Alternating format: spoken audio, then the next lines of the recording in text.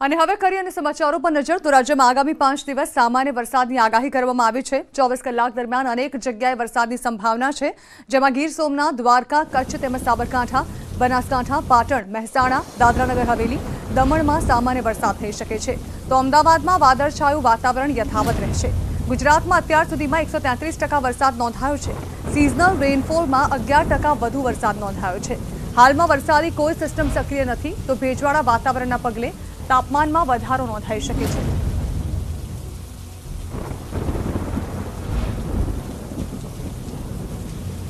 ये पाँच दिन में हमारा गुजरात से देखा जाए डे वन के लिए गुजरात में स्कैटर एक्सपर्ट कर रहे हैं साउथ गुजरात में and day two day three में आइसोलेट में डे फोर में साउथ अगेंस्ट स्कैटर्ड होने का चांसेस है date for distribution day five में आइसोलेट होगा तो सौराष्ट्र का भी देखें ऑल फाइव डेज हम आइसोलेट रेनफॉल एक्सपर्ट कर रहे हैं आज जो बेलमा क्लो था वो अभी